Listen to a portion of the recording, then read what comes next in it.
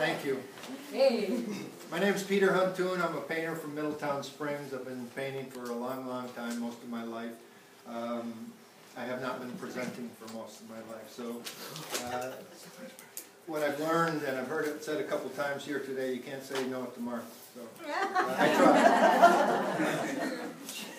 so, the questions uh, she presented me with were, uh, have you had recent challenges? Uh, have you had a, a big marketing leap? And? And the answer is yes.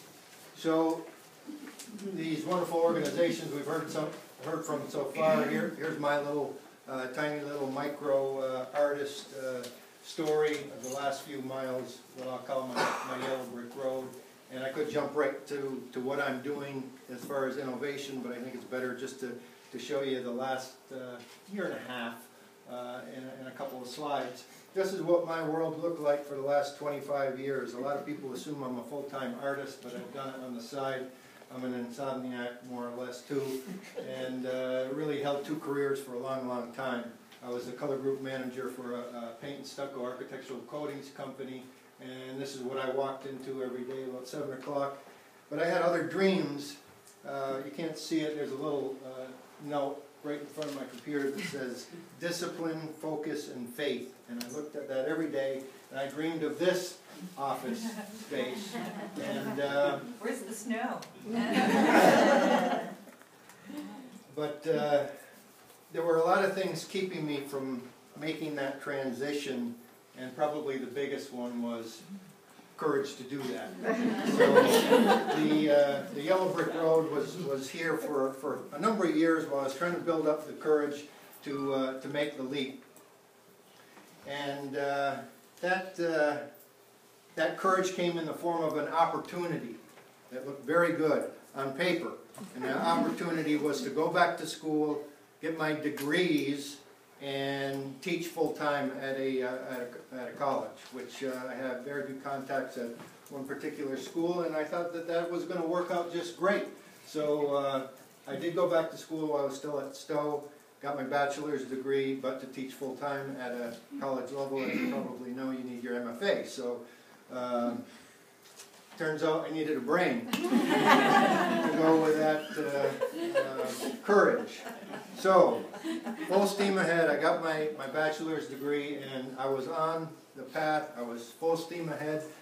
I, I left Sto with, brimming with uh, confidence and enthusiasm and applied to, uh, to my MFA. I, I, couldn't wait to get started and I got rejected from uh, my MFA program. So uh, here is the opportunity that we're talking about where you have to step back and, and look and see what opportunities can come from that. So I said, this must be a fluke. Uh, I've been painting a long time, selling professionally for 24 years. Uh, it must be that school. So I applied again, rejected. I said, okay. So I remember very clearly, my wife and I talk about it a lot. We sat down at, at the couch and said, what are we going to do here? And this, this was the, the, the moment of uh, revelation. Wait a minute, I, I didn't want to teach to begin with. I wanted to be a full-time artist. Maybe the universe is telling me something, telling us something. And it was like a, a weight lifted off my shoulders, all the stress that I've been, I literally six months of effort trying to, to get into a, a graduate school. And there was always this little gnawing thing that I wasn't listening to. This isn't the right way. It's not for me. I want to be a painter. So turns out I needed a heart. and I needed to follow my heart. And that's what I did. And I started developing uh, what uh, I'll introduce now, and that's called A Day in Vermont. And uh, my, uh, my slogan is follow my heart, literally. So, as I, as I step back, and by the way, I, I think I could have gotten into that third college, but I pulled back just in time, so now I never have to ask that question. I could have done it, I didn't want to. I, can, I, can, live with that a little bit better. So, um, stepping back now, the, the slate was clear. Uh, the next 20, 20 years of my life, what am I going to do with it?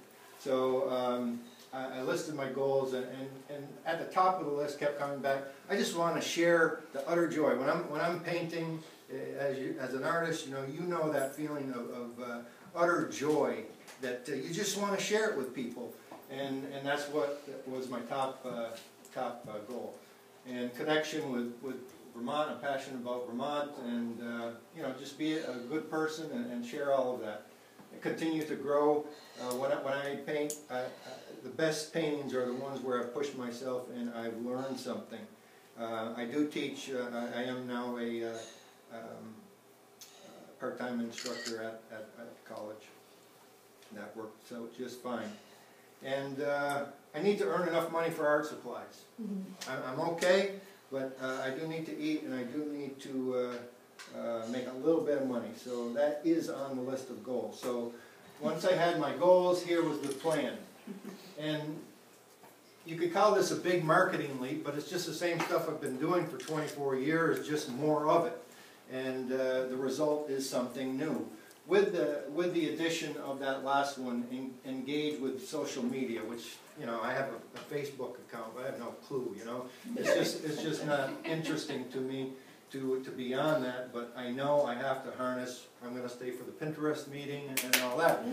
Uh, I I know I've got to, uh, take advantage of that. But, uh, as I do when I learn anything, I'm pretty methodical, and I read, you know, 15, 20 marketing books over the course of a year, uh, that type of thing, uh, the current technologies, I'm no expert, uh, making it up as I go along, but, uh, yeah, insert one year of, hard work here, and the result is a new website.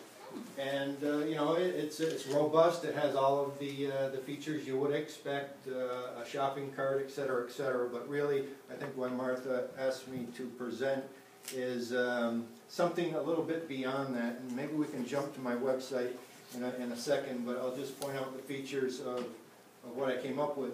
And I didn't really come up with this, there, there are many, many, uh, artists doing similar things around the world. Uh, a daily painter, for example, if you've heard of that, there are thousands of daily painters, and in the beginning I thought, yeah, I could paint one painting a day, but at, at the end of the, the, the day, What's your URL? excuse, uh, peterhuntoon.com. Yeah, if we can just go today's live, uh, that might be better. That, that was, uh, that was the day I proposed to Marie right there. Aww. Um, so if we go to a day in Vermont there, Mhm. and let's go view current auction. Is this in WordPress? It is. So, in, uh, for today, this, this posted at nine o'clock this morning. And, uh, I did the uh, Randolph Depot for today. And literally, I- I'm, this is so new, it, it- it's one month into it. This is my, my twelfth, uh, painting posted so far. So I'm posting on Monday and Thursday at, uh, in the morning. So if we go to here, with, with each, um, painting, I'm also showing a little bit of the, the creative process, and I've got a lot of great feedback on that, so if you go to the next, you know, here's the actual place, here's, uh, the initial sketch, and here is, uh, halfway through or whatever, uh, maybe I'm on a mountain or wherever it may be, and then, uh, close that. And if you wanna go to archive, auction, auction archive,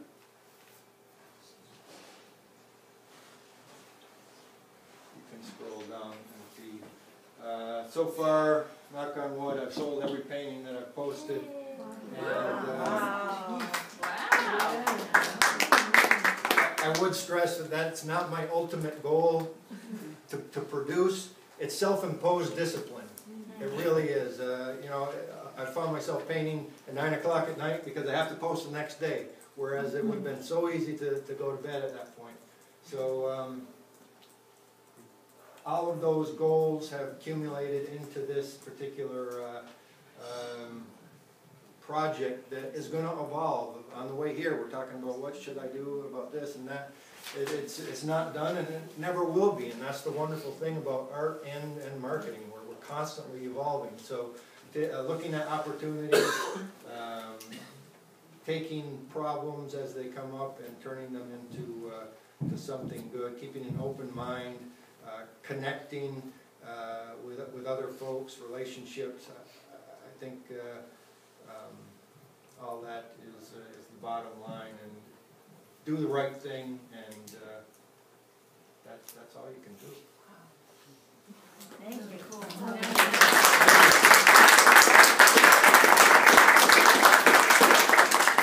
Yes, When you post a painting, do you have a minimum, um, a reserve, whatever they call I, it? I'm, po- uh, and, and again, this is on almost thin air. How am I gonna do that? I've decided I'm going to start the bidding at half my regular price. Okay. And, and that's worked out. And I mean, if you wanna get into the numbers, he- here's the, the quick end of it.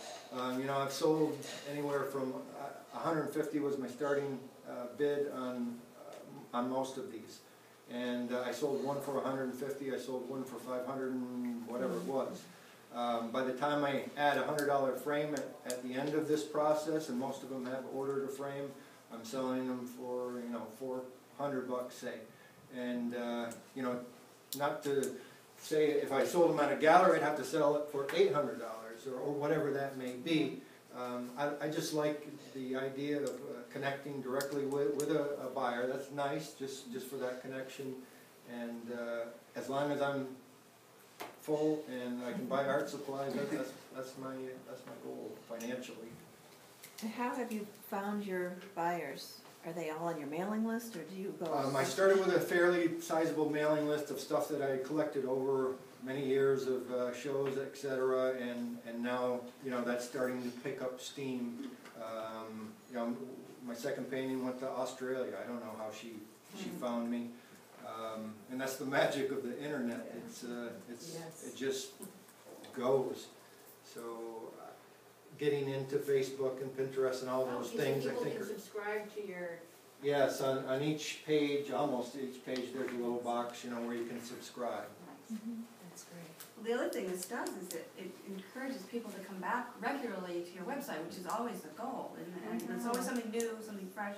And, you know, I, I'd like to think that I thought of this going in, and, but it, it's worked out where, um, as soon as I send a post, I'm getting more orders, you know, print orders, Yeah, uh, commissions, I've always had plenty of those, and, you know, they're not slowing down. So it is, it's a, uh, um, uh, twelve times that you have to be in front of someone. You know, when Christmas comes around, I know I'm gonna be inu- inundated with, uh, with orders, cause I'm on people's minds, It's regular internet interaction. yes.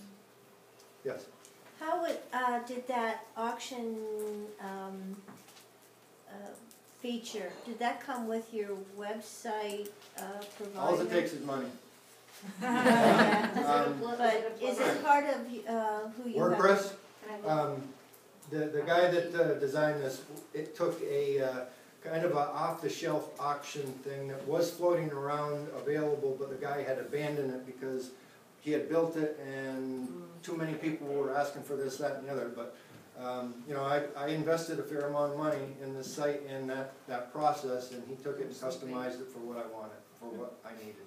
I'm Yes. thinking about jumping into that whole new website scene, and this might be a little bit of a personal question, but How I will much? not answer it, yeah. Um, he asked me not to Okay. to say that, and I'll tell you why, and, and he's right.